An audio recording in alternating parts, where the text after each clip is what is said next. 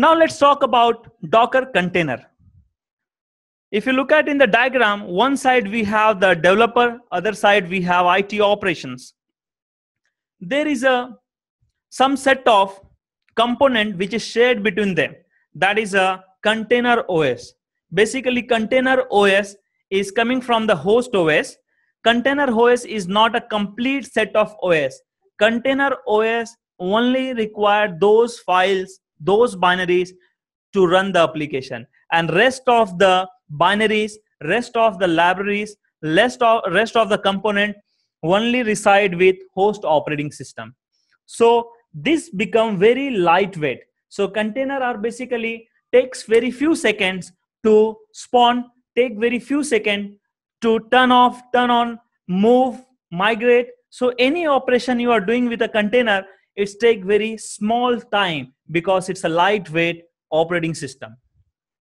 Top of that container OS, we have a runtime. Runtime is a component that allow the container to run the applications. So that is we called as a complete daemons which is running top of that os is called as a docker engine and top of that docker engine we have number of applications so let's say example uh, we have in container one a database.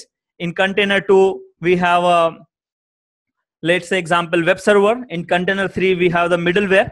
So number of container we can create for different different purpose.